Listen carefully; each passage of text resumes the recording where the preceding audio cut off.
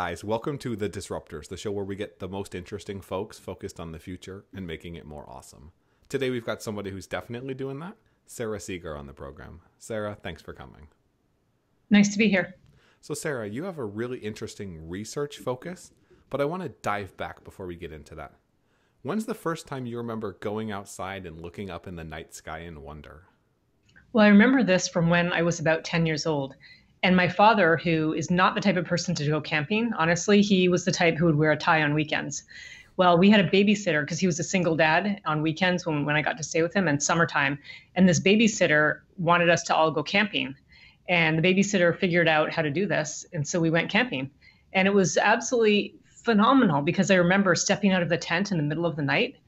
And I, I don't know why I did this. I looked up and it was so clear and I saw so many stars. And I just thought, wow, just wow. It's it's inexplicable how that that sense of wonder. What is it? What is it about humanity? What is it that makes us seek? Um, that is a great question. What are your thoughts? I think we're always looking and striving for more to escape the mundaneness or suffering that a lot of times we find in life. I like that. It gives us something to aspire to. So it, it gives it allows us to idealize in a way. It does. What is space for you? Well, okay. So aside from that idealization, space for me is work, actually. So it is my hobby too, but I actually work with space and space data every day. So, you know, there's a sort of philosophical and the romantic beauty, but then there's just the plain hard work. So let me tell you a bit about that. Right now, here at MIT, we run a NASA mission called TESS, Transiting Exoplanet Survey Satellite. And TESS is an all sky survey it looks at giant strips of the sky, each for one month, and it has already finished looking at the almost all of the southern hemisphere, and now it's looking at the northern hemisphere night sky. And we use computers and people to look at hundreds of thousands to millions of stars, looking for planets around those stars. And basically looking for life, looking for specific chemical signatures. Not yet, actually. That's still a bit in the future. Right now, we're just taking, we're just trying to find planets and maybe some of those planets will be good planets to look for what you just mentioned in the future. And I know you've contributed a ton to this work, both with that work and then the Drake equation. Talk to me in terms of why you got into this and where you see us headed. In general, or? In general, in terms of the search for intelligent life. Obviously, you can't predict when it will happen. Right, right. Well, my work is more focused on an intermediate step, but I'll get to that in a second. So, you know, we do have always wondered about life out there. And, you know, there's some great movies like recently, not too long ago, Interstellar. I really liked one called The Arrival. Did you see that movie? Because the aliens. Arrival was good. Yeah. They're not little green humanoids. They're just these so different from anything we might have conceived of. So we really do want to know what is out there. But what I love about space and about my job is we're just taking the first, even though they're baby steps, it's a concrete pathway to finding out what's there. So we're looking for planets and we're looking for planets they're around other stars called exoplanets, planets that might be able to support life. That's kind of only where we're at right now. So we don't have, you know, anything more exciting than that to share. But in the future with new telescopes that are now under construction, we will have the chance to look at the planet atmospheres. And our goal is to look for gases that don't belong, gases that might signal there's life on the planet. And this would kind of be like analogous to after a zombie apocalypse going to see if there were food things out. You you know people have been there if there's food or something something like that. Yeah, that's something like that. Mostly what it would be though is we're imagining primitive life might be more common than intelligent life. And that primitive life that's like if something goes bad in your covered with and it smells terrible, like gases are being produced by that life. And so we're hoping that there's just life out there like there is on our planet that is just using chemistry to live and is generating gases as byproducts. In theory, is it possible that it would be so far removed from us in terms of what life was like that the things we look for aren't actually the things we should be looking for? Well, right now, we, I mean, that is a possibility. Like, for example, as humans, we eat food, we breathe air, our bodies use chemistry, right, to live. Some people wonder if you could have life that doesn't use chemistry, but just uses mechanical energy like imagine a windmill. If all life was like a windmill, just extracting energy from its environment and using it right away, then our methods that we're using for with traditional astronomy tools wouldn't work. Or if we invent AI, AI creates robots and kills us and decides to explore Yeah. the, the galaxy, we won't necessarily know they're there. Exactly. And it's more than that, too. I want to pick up on that thread. It's like if, you know, some people think we're headed for a post biological intelligence. Like people today, I don't know if that's you, they're glued to their smartphones. You know, if you could go a step further, you're not okay. But if you, you know, put a hard drive in your brain just to remember more, or, you know, like there could be this sort of vision that 100 years, 1,000 years from now, we're very different. And yes, if life on another planet had millions of years to evolve, maybe they are, not AI controlled robots, maybe, but a kind of different version of life that we can't recognize. So you're on this mission. What drove you here? What got you to this point in time? Well, some of it was just one thing that got me here, okay, is I don't know how, but at a very young age, I was able to realize one of the keys to life success and happiness is to find something you love doing that you're also really good at. And I didn't know, I don't know how I got onto that, but I wish everyone could. And it turned out I learned quite young, actually, when I was 16, that one could be an astronomer for a job. And I just was, wow, like I couldn't believe that was even a job. And I remember very clearly when I found out because to get to my high school, I had to walk for half an hour. I lived in the inner city in Toronto, Canada, and I walked through university campus and I saw a sign for an open house one Saturday. So I went to this open house, went up the elevators to the top floor of the physics building, and I was greeted by these professors and grad students. I didn't even know that was a thing. So I rushed home and told my dad, and he was furious. He told me I couldn't do that. I had to get a job and support myself and not rely on any man. Those were his exact words. And he was kind of right in a way, but he didn't know what astronomers like parents if you're a parent or there's parents listening i realize that now you want your kids to be self-sufficient. You want your kids to go out and get a job and support themselves.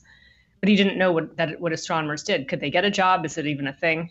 But i was lucky because i loved astronomy and i ended up being good at what was required for it. Not just math and physics skills but later programming and just sort of bigger picture creative thinking. So that's kind of how i got where i was but it was a little more practical than that I got to work at an observatory when I was in college during the summer. I went to grad school right at the time when exoplanets were first discovered, so I jumped on it to work with them. So it's sort of a little bit of luck and timing and strategy. It always is when you look backwards. I want to I want to backtrack a little backwards, bit. Yeah, when you look backwards, yeah. So your dad, it was both super helpful and also partially harmful. But how do you think about this from a I don't know if you're a parent, but how do you think about this if you were a parent or for other parents out there? How do we help kids going forward because we're walking into the future looking backwards. We've only known what we've known. It's so true.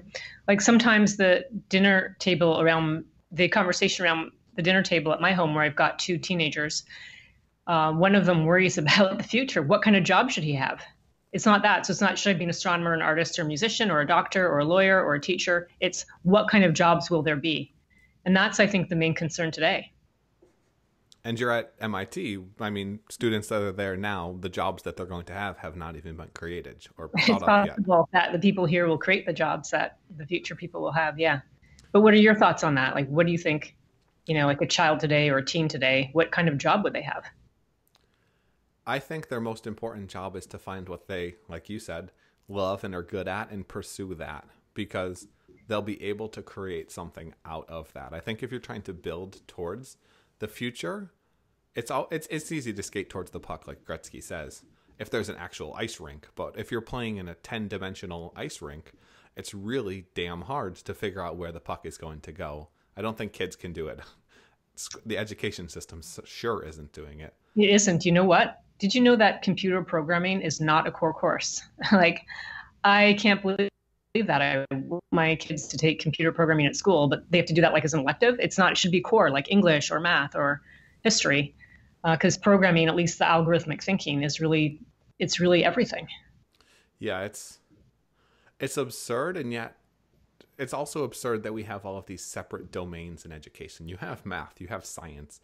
They all really need to start merging into merged fields because then A, you can accomplish more, B, it's more interesting, and C, it's more applicable because you're working between all of these different fields anyways. That's true. So true. Yeah. I want to I want to backtrack a little bit. So, search for intelligent life.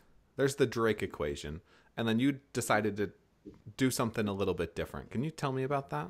Sure. And by the way, I asked Drake after I'd written the equation though, because if he minded if I took his equation, and he said it was fine. He's good with that. So the Drake equation itself is a collection of terms that helps describe the kind of prob- probability is the wrong word because it's not that formal, but you know the chances. What are the chances that there's some kind of intelligent life out there? And the Drake equation breaks it down into things like, you know, how often are new stars forming? How long will civilizations live? What fraction of those civilizations might use radio tools to send us signals? Well, the reason I took that Drake equation was because we now have this a kind of parallel search. It's parallel to the search for intelligent life. We're searching for life by way of gases they produce, byproducts, waste products that they produce, and we're hoping that some of those gases fill the exoplanet atmosphere and that we can detect those gases and identify that they might be created by life. So we wouldn't know if like there's intelligent aliens there breathing out some kind of gas or if it's just slime, microbes covering the planet. We don't know which. But I was inspired by the Drake equation to try to help describe in a quantitative way how we're searching for life by way of these so-called biosignature gases. And what do you think about the various probabilities? So there's different variables in terms of if you weigh this up or weigh this down, the chances go way up or way down. Where do you see the most important variables or cutoffs, so to speak? Well, let's just say this. I'll just describe it in a slightly different way. Is that it's really hard overall. You know, stars are so big and bright and massive compared to planets, which are tiny. Like our Earth feels pretty big. You know, if you want to travel to Australia, I've never been to Australia or New Zealand because it's so far, at least from here in, in Cambridge, Massachusetts. But our planet really isn't big. It's tiny. You know, our sun is 10 billion times brighter than our Earth. It's much more massive and way bigger. And so the problem is we're just struggling to find planets at all. So to make it really possible for us to find signs of life in the near future, honestly, life has to be very common. We know that planets are common already. We know that planets in the star's so-called habitable zone the planet that's heated by the star is not too hot, not too cold, but just right for life. We know those are common. So we really have to hope that life can get a foothold pretty much anywhere. I know a lot of futurists have argued that if you're going to go off planet, it makes a lot more sense to design the habitats and not to move on to another planet where you're stuck on a gravity well. What are the chances in your mind that there could be lots of intelligent life around us we're not seeing because it's not residing on planets? Oh, that's interesting. Um, Not necessarily around us in like a hey, we got a no, next door neighbor deal, but yeah. yeah. It makes the search much harder because it's way easier to build something than it is to adapt a world or create a complex thing on top of a world or genetically engineer someone. And then you'd also don't have to worry about the gravity, so it's also a lot cheaper. Well, I don't know. I think it would still be. Um, I'm not so sure about that. Let me think for a second. Um, yeah, I mean, certainly if life has evolved to just live on habitats and, you know, use energy from the sun or they have a way to capture energy from their environment, we would be very hard pressed to find that life. Oh, I didn't mean that. I meant more like O'Neill cylinders or people build not people, but civilizations building essentially space habitats. Like you want to know if I think that's possible or what it uh, means or just in terms of what if we're searching for intelligent life we could be missing the intelligent life by looking for houses when in fact they're floating above the houses and I don't know tree houses or something. Yes, well, with traditional astronomy tools, we would miss it entirely for sure. So you talked about the you talked about the advancement with the the new telescopes coming online.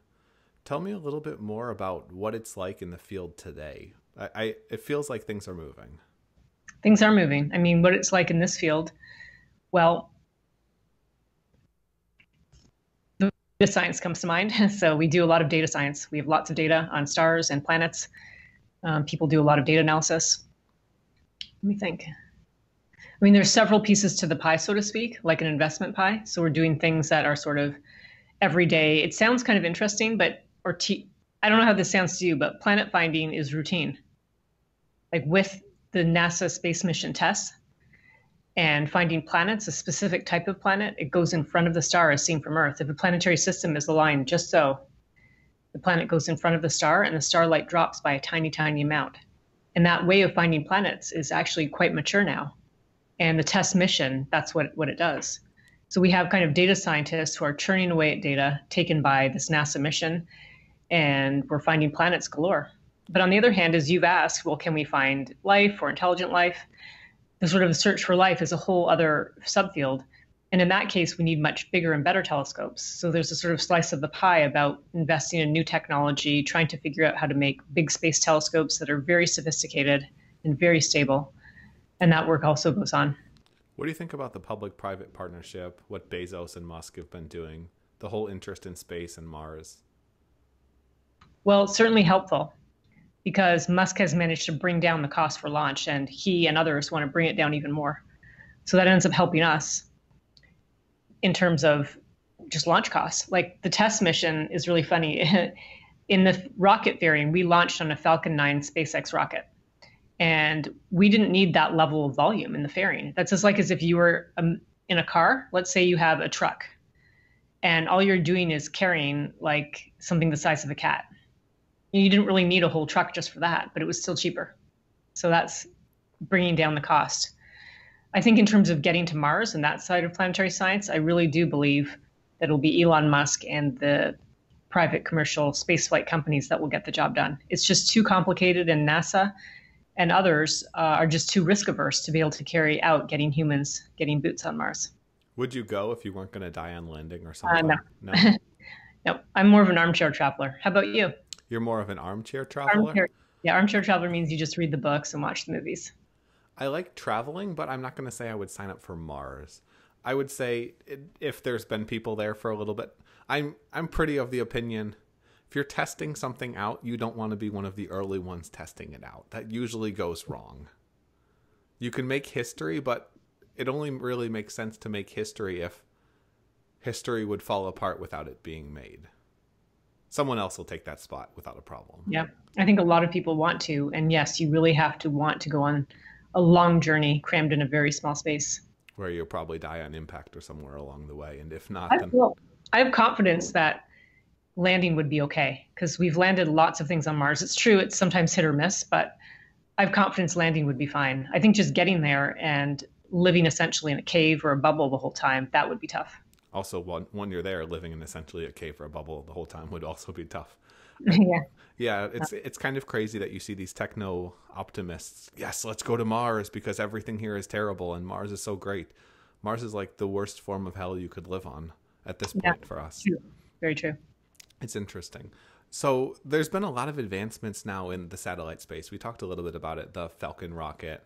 There's the nanoscale sats that are going up. How do how do these impact your work, and how do these impact not just your work but the entire field? Okay, let me think for a second. I've got to think about that one. So, nano, are you talking about nano satellites? Yeah, nano, nanosats, CubeSats. Yeah, yeah. I actually have a CubeSat. You have one. Interesting. What are you sensing? Mm-hmm. Well, we are trying to find planets. And, you know, in the planet finding world, there are lots of planets, all kinds. honestly, it's crazy. Any planet you can imagine. How many have we found so far? How many have the community we've has found thousands of planets. And how many how many Goldilocks ones? Well, that's we're not 100% sure. There could be let's say a few dozen right now. But the thing is that what really makes the planet's surface temperature is the atmosphere. Like, think about it. On our planet Earth, we are worried about climate change, right? Things are getting hotter, more extreme events. And we're worried about parts per million of carbon dioxide change in our atmosphere, right? But imagine a planet with double the carbon dioxide, or 100 times, or a massive atmosphere that makes a giant greenhouse. So, really, we need to learn more about these dozens of planets, we don't really know much about each of them individually. So we couldn't say for sure if any each one of them are habitable. But in terms of CubeSats, so my goal is to find another Earth, like a true Earth twin orbiting a sun, sun-like star. And these transiting planets that go in front of the star, as seen from Earth, honestly, they're very special. They're they're the only like there are different ways to find planets, but so far the most mature, easiest way is by transiting planets that block out a small part of their star's light. So my ultimate goal would be to have lots of little nanosatellites, lots of probably bigger than CubeSat, to observe all of the nearby bright sun-like stars. Each one would be pointing to its own star essentially, monitoring it for a very long time because the bright stars are spread all around the sky. So we can't have a single telescope look at them because they're, you know, one would be like in this direction, one would be in that direction. So the CubeSat up there right now, it's called Asteria, and it was initially developed here at MIT with Draper Lab, and now it is it was eventually taken over by JPL, a NASA center in California, and they implemented it, built it, launched it, and operated it. And it's been orbiting Earth for a couple of years. And the goal of the prototype was to demonstrate that we could reach the, it's kind of technical, we call it photometric precision, but essentially it's how well can you measure the brightness of a star as a function of time. We had to demonstrate we could do that. And to do that, we would have to point the telescope incredibly stably so that like we could met, do this brightness measurement, which I can go into more details if you want. So it's been orbiting Earth now for a couple of years. It's doing a great job. We met all of our goals. Basically, you need to get enough pixels and it needs to be not blurry enough that you can see the changes. That's right. In fact, if you take a light, like imagine if you have a laser or an LED and you shine it at a detector. Imagine you open your phone and the detector in there. It's not quite like the detectors we're using, but similar. If you shined a light and moved it across the pixel, the light that comes back at you would vary by about 40% across the pixel. So the light you shine on it, a different amount comes back to you depending on that pixel structure. And so that's like that's why we don't want to have jitter. We don't want the thing shaking because as it moves around and those stars move around, you, you'll you'll see like a lot of noise in your data. Yeah, so I think that we're not totally sure for astronomy. So for astronomy itself and space science, the problem is that um, we need we're in sort of an era of precision measurement now. We've done all the easy stuff. And so the small satellites and constellations, except for the example I've given you, there aren't too many things that would be useful. But we do see these small satellites really taking off for like measuring Earth, gathering data on, you know, small scales of what's happening on Earth and things like that. So I think it's here to stay. What's it like working in the industry or working in the field where you kind of have one people looking out and one set of people looking inward? Are there rivalries? Are there weird dynamics? I'm curious. You mean using the same technology to look up versus down? Basically. Yeah. I don't think there's rivalries when we can. As you mentioned earlier, people tend to be very pigeonholed or stovepiped. We try to build off what each other's doing, actually. How do you do that? What's the um, best way? Well, the best way is that here, at least at MIT, we try to go to their each other's talks, listen to what people have to say, and really try to sift through all the ideas to see if any of them are actually relevant. And if they are, we try to collaborate with the other folks. It's often not though, because okay, so the problem we have is that in space things are faint, you know, like really faint, whereas Earth is so incredibly bright. And so oftentimes the tools and techniques don't intersect. Yeah, it's like the exact opposite of the skill set you need. It's like the exact opposite of yeah the technology you'd need in some ways. But for example, the precision pointing that we've developed for this small CubeSat, people could use that for other things like laser communication. We want to send down information with lasers instead of with radio waves because you can pack a lot more information into visible light. That's an application, for example. So there's sometimes crossover technologies there's a lot of times crossover technologies. Just look at the space race and how much tech came out of that. How do we yeah. how do we change the climate these days in terms of science and space funding? There's really not a lot of focus on it, and people are saying let's pick, fix the problems here. But yet, a lot of times, science and fundamental research is what leads to the innovations that make tomorrow better. It's really true. It's really hard to explain that to people because everyone wants to see a short term gain. We have um, in the department I work in, it's Earth and Planetary Science. And so, for example, our advisors want us to focus on carbon sequestration. Like, how can we put carbon deep into the rocks and get rid of it from our atmosphere? But it's hard to explain to them that, you know, you need to do long term research on rocks and the earth. You have to understand something very fundamental um, that would help you with other future applications. So I don't have a good answer to that. We're constantly trying to educate people. Know, we try to keep lists of things when people ask uh, why are you doing this? Why are you spending or wasting money on space? We try to have some answers about some technologies that have been developed and been workful. I mean, people like the medical examples, like, you know, in astronomy has actually been helpful for developing algorithms and techniques for reading images, which now, like for MRIs and scans of your body, are used as well. So that's one example. You know, the laser that we use in pretty much everything, you know, from the grocery store to surgery, that's another example that was just developed. Einstein had the first concept for it just by pure pure research. So I don't have a great answer, but I, I agree it's a huge problem. Yeah, it's a problem that you see over and over. I mean, I, that's a whole nother can of worms. We'll get into that later, maybe.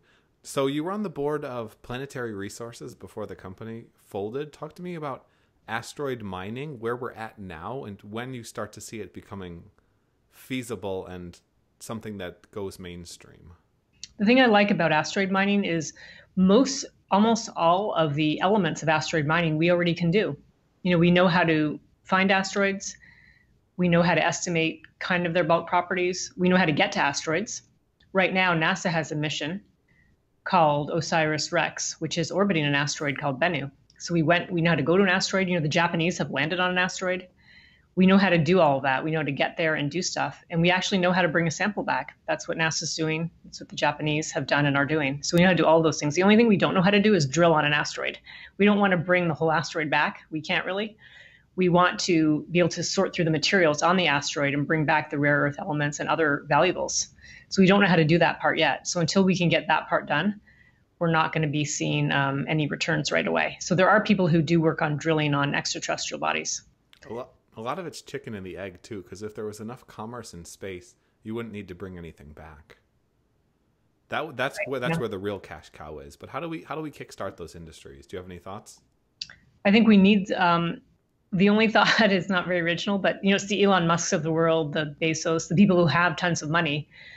If they can invest in the interest, infrastructure, like create the highways, so to speak, then the rest of people can start using it and making other things happen what happens if they own the highways, but then everyone has to pay like the all-encompassing tolls? Yeah, that's a problem. So do you think the do you think it is a purely private play, or do you think public should get involved? Governments? The governments haven't done a whole heck of a lot, unfortunately. Governments haven't done a lot right now. Yeah, I don't really know the answer to that. Except China. China is kind of going full steam ahead with everything it wants to go full steam ahead with. That's yeah. that's uh that's another interesting thing. Have you so you've got a lot of experience in the space. Do you work with a lot of space tech startups, space focused VCs? Where do you see the action happening these days? No, my work is pretty focused on planet finding, and that's almost solely limited to government funding because it doesn't have the practical applications that these space companies or VCs are looking for. Makes sense. What are your thoughts? This is going to probably be pure speculation, but the whole object that came into our solar system that looked like a solar sail that kind of skirted around. You, I, I think you should probably know what I'm talking about. I do. Yeah, it's called Oumuamua. I don't know how to pronounce it properly, but it's an incredible object. Honestly, it's just going so fast. It's it's an interloper from another place. There had been people trying to make a case for it being like a spaceship or some kind of alien spaceship, but it's not. It doesn't have to be. It's just a very very crazy object. We're lucky to have found it. Can you talk through the reasons that it people thought that and the reasons why they're incorrect? Um, I let me. I don't know if I can do that off the top of my head. I'd like to, but not a problem. Yeah. So you're in this field, and you said you kind of followed your passion and your skills. What other things are you most passionate about? What technologies or trends most excite you? I mean, just in terms of my work, I just like the small sat revolution is just so amazing because we can send things up and test them more easily. Don't have to do everything on a sort of dinosaur time scale I don't. I think I have more concerns about the future, really. What more are those? What are those about, concerns? Um, okay, I can tell you those concerns are. So one is that we're seeing like this comfort and kind of giving up privacy for convenience. You know, it's like you have your phone now and smartphone. I don't know about you, but I've got an Android and it seems to know everything I ads for something else. And then there's sort of level of convenience I see with the next generation because they're just used to it. There's people now who've grown up being aware of the world around them. They've had smartphones. So, you know, like the way that everything is connected, the internet of things, and just this sort of trend towards just a sheer lack of privacy. That really concerns me. Yeah, it's terrifying because people don't seem to mind. And yeah, they don't mind. That's what I'm saying. These generations. So I mentioned that I've got teenagers at home, but this next generation, because they're so used to it, they they think it's fine you know they don't a lot of them don't really they haven't really known anything else and it's just convenient for them they communicate with their friends their their life is seamless you know they are starting to use um, like debit cards and you know the world is just so easy for them they've never really they don't do things like in the hard hard real world. And easiness is a path to, at least in this case, tyranny and minority report. Do you think we're headed there? Do you think we're what? Headed there? Headed towards a minority report type, super authoritarian, super 1984 type government? Yeah, that I don't know. I mean, a lot of this info is pretty useless, though. Like, I think about if someone is monitoring my texts, it's not. It's like my kids asking me for something or me like having this ongoing conversation with my husband. So I think a lot of it is just kind of junk. But I guess people, I guess it is definitely concerning about where where it could be headed. It would be easy to implement that now as opposed to in the past. And it would be easy to understand you completely and then start to move you one direction or the other. It really would. So you see this you see this now with your kids a little bit. Do you try to limit social media type stuff? What what's your thought process? Um, so it's less of, like it depends. This is going now to like parental style, but I've always let my my kids are good kids, and I want them to be independent and figure things out for themselves. You know, like like as a child, a small child, one of them was trying to figure out. He was crawling around trying to go down to this pond, and the question is, you say no and bring him back, or do you let him figure out his limits? Or when he plays recklessly at the park, do you let him get hurt so he knows the limits, or do you say no, no, no? And I let them find their own limits actually. So instead of like limiting per se, like, oh, you get one hour on this, I try to like make sure they know that we value non electronic things. You know, like we spend time, um, we went to, we spend time at our summer cottage where there's just stuff to do. The kids are really into sports. I encourage that because that's, you know, they don't have their phone on when they're playing sports. So it's more about um, adding something than taking away. It's just honestly, it's, I don't know, I'm not an expert. I don't have that many kids, but it's just crazy. Like it's their world. Like it's um, you know, Snapchat and Instagram and it's fantasy league sports and it's just like everything. Yeah, in a lot of ways, it's terrifying, and I feel like. It's getting, but it's also getting info. Like the their soccer tryouts right now, and like that's how they get in. So before you'd see your friends at school and tell them something, and they're sort of the gossip network, right? But now it just happens on the phone. That's their main way of getting information. Yeah, it's it's hard to know what the ramifications will be. Yeah. But one thing I'm glad though, I, my kids had no electronics till when they were age six and eight. We didn't have a TV. There was nothing at all, not a phone, nothing. So I think it really does affect the, yeah, the ramifications of, because as humans for millennia we had we didn't have it right, and now we do. And you see, I'm sure you see children like on the airplane or where have you. On the airplane in the restaurant, it's like the parents hand them the phone, and that's the entire that's the entirety of dinner but you know there's no phones during we try to have traditional like family time and do things together there's no no phone in that time yeah I, I was talking to somebody i can't remember who it was but he said something to the effect of imagine you were at a restaurant and you're there with a friend and then suddenly this other guy runs over and starts screaming in your face answer me answer me answer me that's basically now imagine that's a phone we've kind of we've kind of socialized that to be acceptable and it's at least there's some pushback from this now, but I, I, get a little bit worried about some of those same so those same implications. Do you think do you think there's a government role? Do you think society is strong enough to fight these kind of things? I think people will figure it out. Okay. You know, there's like people now ha- there's like um, you know addiction problems. So I think there are people realizing you can be addicted to video games or addicted to this or addicted to that. I do think people do it. Like at school they're not allowed phones, you know, whereas in the past maybe they were. I noticed that my even here at MIT at the beginning of the year I tell my class no phones. Everything electronics are all off unless you're actually taking notes. If you need to use your phone, like you have that urge that there's something important going on in the background, excuse yourself from class. You can go use your phone outside. I mean, if you don't make that really stern speech and make that very clear from day one and call people out when they're using their phone, they just have their phone. People are just like looking at their phone the whole time. I think it's the same thing with laptops and tablets, even if you're taking notes.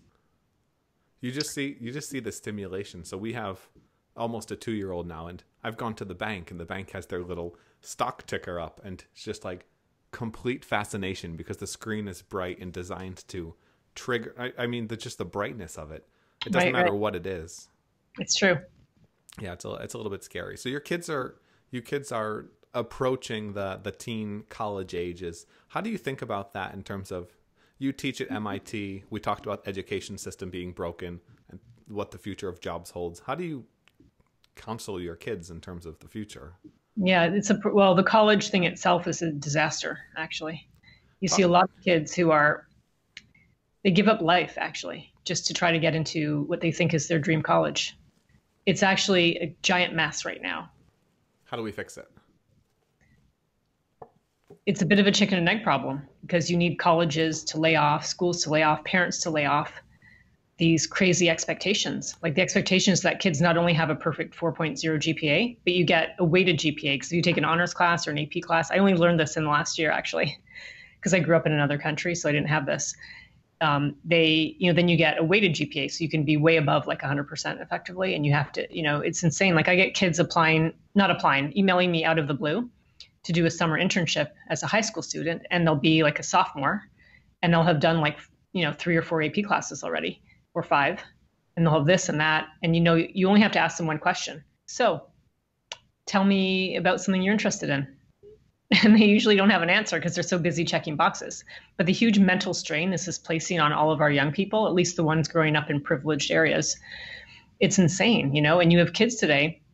Remember what I was telling you about letting the child find their own limits, even if they're two years old? Oh, it's so bad here in the US. The thing is that you end up getting these kids who come to university or college and they've never failed.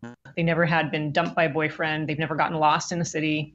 They've never had any major problem. And then actually they can't they can't ha- handle it now, and they have a massive mental breakdown. So we've got a huge mental health crisis at the university level. So I only have my own kids at my you know disposal, but I let them make mistakes. I let them find things out the hard way. You know they're not going to be getting into the top elite schools, but it's better if they're like well balanced and they know how to handle a problem because they've had problems they've had to work through on their own.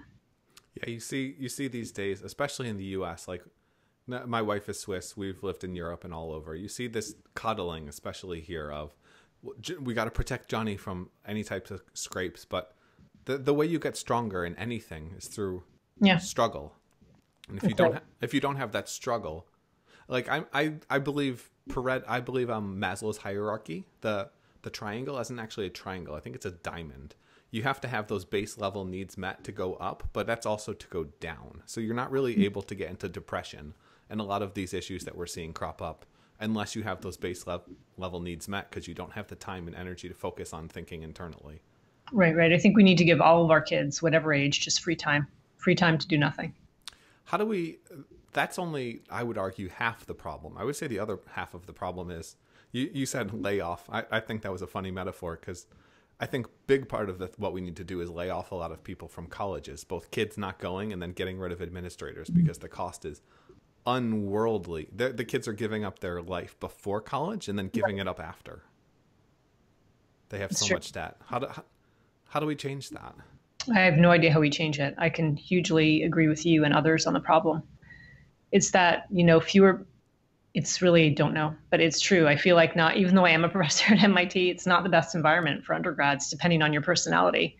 I don't think everyone needs to go to college, despite being a college professor. And certain, I read in Forbes magazine recently that there's programmers, computer programmers, are being hired like left, right, and center without college degrees. You know, there's some jobs you can go into, plumber, electrician. Now it's computer programmer, where it's it's not. You know, we all think we should be more enlightened, more educated, but I don't agree that everybody needs that.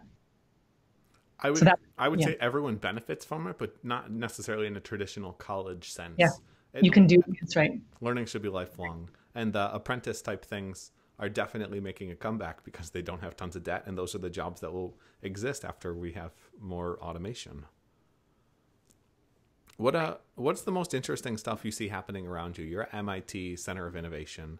What inspires you? What I love about MIT, though, and what inspires me, it's just the whole idea of innovating. It's the idea of being able to take an idea and make it real.